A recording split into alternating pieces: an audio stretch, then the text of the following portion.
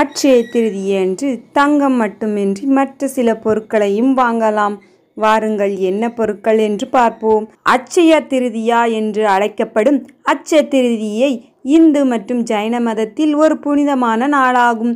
இது புதிய முயற்சிகளை தொடங்குதல் விலைமதிப்பற்ற தங்கம் போன்ற பொருட்களை வாங்குதல் போன்றவை ஆகும். தங்கம் வாங்குவது மட்டுமின்றி இந்த நாளுக்கு பல சிறப்புகள் உள்ளன. இந்த ஆண்டு அட்சய திருதியை மே பத்தாம் தேதி வெள்ளிக்கிழமை வருகிறது. ரெண்டாயிரத்தி இருபத்தி நாலு அச்சய திருதியை அன்று தங்கம் மட்டுமின்றி மற்ற முக்கியமான சில பொருட்களையும் வாங்கலாம். தங்கம் வாங்குவது செழிப்பையும் நல்ல அதிர்ஷ்டத்தையும் தருவதாக நம்பப்படுகிறது. வெள்ளை நிறத்தில் உள்ள வெள்ளி பிளாட்டினம் போன்ற பொருட்களையும் வாங்கலாம். அச்சய திருதியின் போது குடும்பத்திற்கு புதிய ஆடைகள் வாங்குவது வழக்கம். இது புதுப்பித்தல் மற்றும் புதிய தொடக்கங்களை குறிக்கிறது. மக்கள் பெரும்பாலும் மிக்சிகள் கிரைண்டர் போன்ற வீட்டு உபயோகப் பொருட்களை அல்லது குளிர்சாதன பெட்டிகளையும் சலவை இயந்திரங்கள் போன்ற பெரிய பொருட்களையும் இந்த நேரத்தில் வாங்குவார்கள். சில குடும்பங்கள் அட்சய திருதியை வாகனங்கள் குறிப்பாக இரு சக்கர வாகனங்கள் அல்லது கார்களை வாங்குவதற்கு ஏற்ற காலமாக கருதுகின்றன.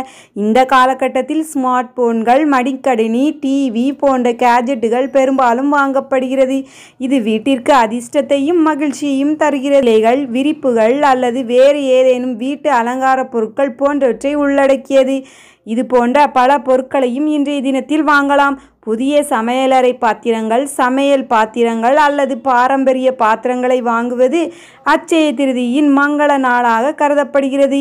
மக்கள் தங்கள் வீடுகளில் ஆன்மீகம் மற்றும் ஆசீர்வாதங்களை அதிகரிக்க இந்த நேரத்தில் தங்கள் பூஜை அறைகளுக்கு மதக்கலை பொருட்கள் சிலைகள் அல்லது பொருட்களை வாங்கலாம். புத்தகங்கள் குறிப்பாக மத நூல்கள் அல்லது தனிப்பட்ட வளர்ச்சி மற்றும் மேம்பாடு தொடர்பான புத்தகங்களை வாங்குவது இந்த காலகட்டத்தில் பொதுவானது.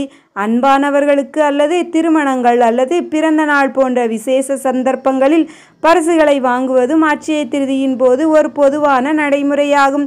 இது பெருந்தன்மை மற்றும் நல்லெண்ணத்தை குறிக்கிறது. திருதி என்று முடிந்தவரை அடுத்தவர்களுக்கு தானம் செய்யுங்கள். அதாவது தன்னிடம் பணம் காசு இல்லையே என்பவர்கள் அதிக விலை கொடுத்து தங்கம் தான் வாங்க வேண்டும் என்ற அவசியமில்லை. தங்களால் முடிந்த தான தர்மங்களை செய்யலாம். முடிந்தவரை பெரியவர்களுக்கு நீர் மோர் வாங்கி கொடுக்கலாம். செருப்பு வாங்கி கொடுக்கலாம். குடை வாங்கி கொடுக்கலாம். தன்னால் முடிந்த சிறு சிறு உதவிகளை செய்யலாம். அன்றைய தினத்தில் நாம் செய்யும் தானமானது மேலும் மேலும் இரட்டிப்படை. திருதிய நாளில் சில விஷயங்களை செய்வதால் வீட்டில் செல்வ செழிப்பு பெருகும் என் ஐதீகம். அதிகாலையில் எழுந்து நீராடி பூஜை அறையில் கோலமிட்டு அதன் மேல் கும்பம் வைக்க வேண்டும். கும்பத்தின் அருகில் நெல் ஒரு பிடி வைக்க வேண்டும். பூ மற்றும் லட்சுமி நாராயணர் படம் வைத்து வழிபடுதல் நல்லது. கோவிலுக்கு செல்வது சிறந்த ஒன்றாகும். பின் வீட்டில் வழிபடும் வேளையில் பிள்ளையாரை வணங்கி துதிகளை பிரார்த்திக்க வேண்டும். அச்சே திருத்தியன்று உணவு உண்ணாமல் விரதம் இருந்து அல்லது அவரவர் உடல் நலத்திற்கு ஏற்ப விரதம் இருக்கலாம். விரதம் இருத்தல் கட்டாயம் இல்லை. சேத்திருதியை நாளில் சில விஷயங்களை செய்வதால் வீட்டில் செல்வ செழிப்பு பெருகும்.